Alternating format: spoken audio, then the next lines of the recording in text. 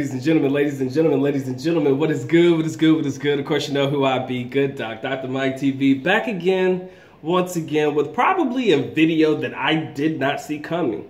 Um, came across this article the other day, and it really did stick out in my mind in reference to this being one of the first times that I had ever seen this happen in Philippine history. Okay, first time to the channel, guys. Make sure you like, subscribe, do all the good things, make yourself well versed in the good docs content. All right, so the individual that we're going to talk about today is none other than a uh, Filipino-born um, individual by the name of Wesley So. Wesley So is a chess grandmaster and moved to the United States in 2014 and officially became a citizen of the United States in February of 2021. So now he's officially a uh, American citizen. Um, he was adopted. He had an adopted family that uh, raised him while he was in Minnesota. I guess they helped to train, get him together for competitions and things like that. By the names, they sound Filipino. Just can't clarify that real quick.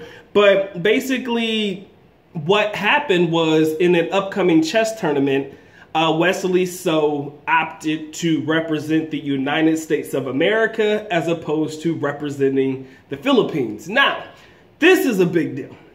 I, in my whole tenure going to the country back and forth, being where I've been, seeing what I've seen, I've never seen an instance where a Filipino born citizen now a citizen of the United States, has opted to represent their adopted country as opposed to their home country. And I think in a couple of international tournaments, you guys can read up on this if you want to. Uh, Wesley So represented the Philippines in a couple of international uh, competitions, but maybe they didn't go well. I'm not sure.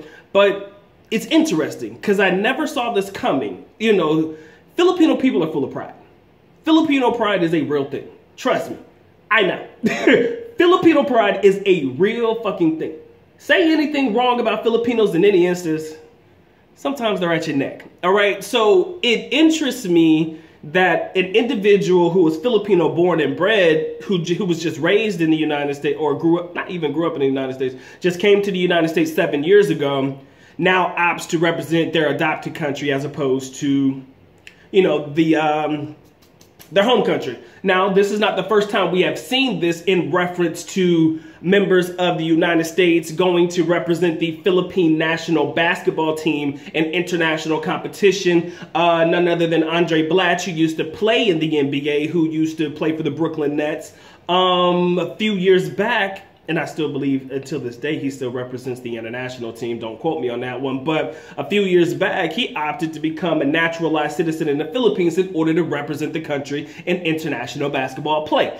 Why is that? Andray Blatche wasn't necessarily the best basketball player in the NBA. Let's keep it a bucket and a half. He was good. I've seen him play. I like Andray Blatche, big dude, big black brother. You know how we do. Um, you know, but if you think about all of the people to choose to represent Team USA, chances are he would not be one of them. Okay.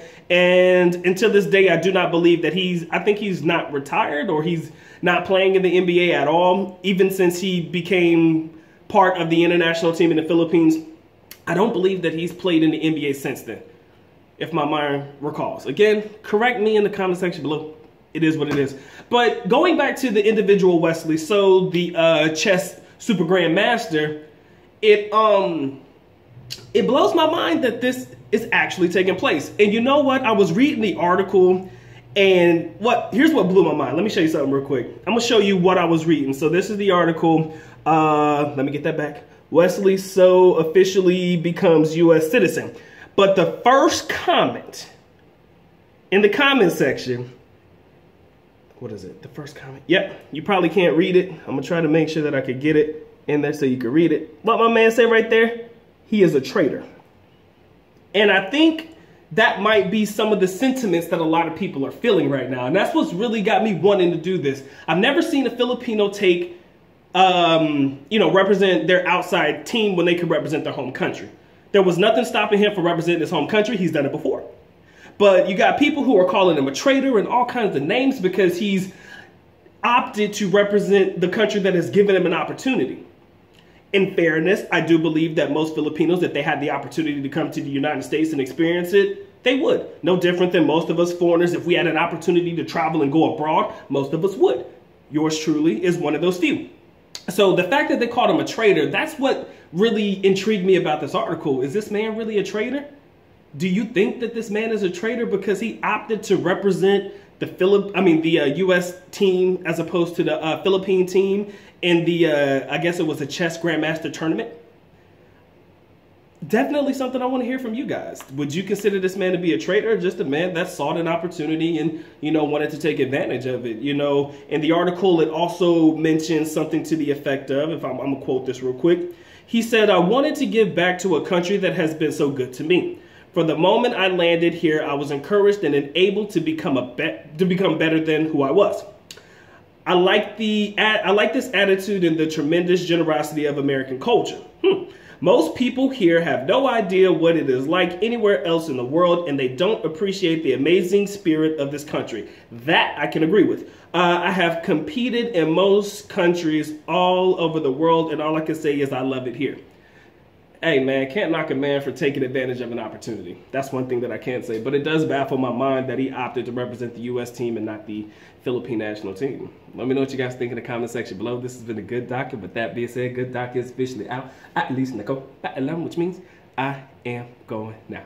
Uh, bye bye. As always, love you guys. Sincerely do. Mahal kita. Mabuhay. Peace.